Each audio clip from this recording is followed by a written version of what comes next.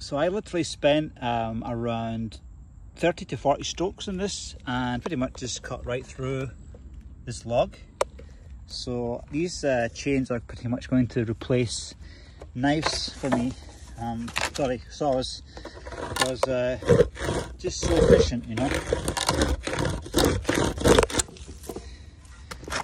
Look at that cut.